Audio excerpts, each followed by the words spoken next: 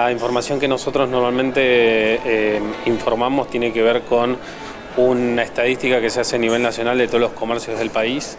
Eh, los resultados a nivel nacional son negativos. Eh, lamentablemente en el mes de diciembre del 2023 tuvimos una baja importante en bebidas y alimentos de cerca de un 20% y bueno, la baja a nivel interanual también fue importante. Eh, pero en el caso de Ushuaia es, eh, es diferente porque estamos en temporada alta, entonces de alguna manera lo que, lo que genera es un apalancamiento en los ingresos de la ciudad, digamos, con respecto a otras ciudades del país.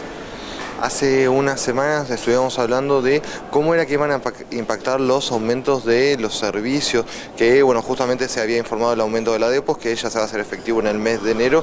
¿Cómo están trabajando los comerciantes para poder aguantar estos aumentos que se van a venir muy fuertes por ahí en el primer cuatrimestre del año? Bueno, justamente eh, el impacto es importante porque el total del aumento se va a a, reflejar en el mes de enero específicamente, es decir, de, un mes al otro, eh, por ejemplo, el agua va a aumentar de un 117%. Eh, en temporada alta, donde todos los comercios de alguna forma están en un nivel de facturación bueno, eh, no, no, no, se va a sentir un gran impacto, pero en los meses de baja seguramente ahí se empieza a resentir un poco el tema de, los ingresos versus los costos que tiene cada comercio. ¿Cuál es la proyección que realizan desde el sector privado del el aumento que podamos ver reflejado en los precios? Porque estamos hablando de un 117 en la depos en tres cuotas, falta confirmar el aumento de la energía, falta se está realizando justamente el día de ayer y en estos momentos la audiencia pública por eh, Energas. ¿Cómo vamos a poder entender los usuarios eh, y los vecinos este tipo de aumentos, cómo se van a ver reflejados? Bueno, la verdad que la, sinceridad de la economía eh, lo vamos a sufrir de alguna manera todos, tanto comerciantes como, usuarios. Eh, pero bueno, como siempre nosotros decimos, una economía un poco más transparente eh, genera una mayor previsibilidad y si bien hay que hacer un esfuerzo entre todos de poder sobrellevar este, estos meses de, crisis y, y de sinceramiento de precios, eh, creemos que después de esto viene algo muy lindo y muy positivo, por eso digamos que vivimos un poco hacia la esperanza, ¿no? hacia la proyección. Eh, es cierto que va a ser difícil, van a ser meses muy complejos, principalmente después de abril, de Semana Santa.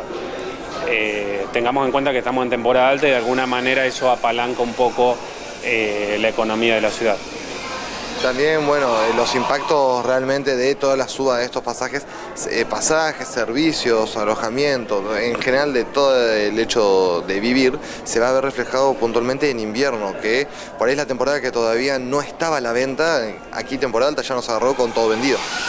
Sí, correcto. Posiblemente el impacto que nosotros veamos en la ciudad sea, como te decía, a partir de Semana Santa, que son meses de baja y aparte vamos a de alguna manera a a ver estos números de los cambios en, los servicios, en, las tasas. Eh, pero bueno, también vamos a ver reflejado cómo viene la temporada invernal. Eh, Ushuaia viene creciendo a nivel año a año, digamos, en cuanto a la temporada invernal. Eh, esperemos que no sea un, número muy bajo en cantidad de ventas. por eso intentamos ser optimistas, digamos, para lo que es mediados de año, pero sentir la, crisis la vamos a sentir en algún momento. Con todo el panorama que se viene, ¿cuál es la opinión desde la Cámara de Comercio de Ushuaia con el impuesto de cotasa que se está tratando en el Consejo Deliberante? Bueno, desde la Cámara ya planteamos nuestra postura y coincidimos con las demás cámaras que este tipo de impuestos afecta mucho una de las actividades más importantes que tiene la ciudad, que tiene que ver con el el rubro turístico, que es una de, los, de las actividades genuinas que tiene eh, esta ciudad. Eh, y creemos que no es eh, favorable principalmente en la gestión, en, todo lo que tiene que ver con la gestión y la administración del cobro de la tasa. Yo tuve la oportunidad de vivir la experiencia en Iguazú y la verdad que no es nada agradable para el turismo, si bien la tasa no es un monto muy alto, pero el modo, la forma, la gestión de, lo que se quiere imponer de alguna forma, eh, el turista siente estar discriminado incluso viviendo en el mismo país Eh, además, hay que tener en cuenta una cosa.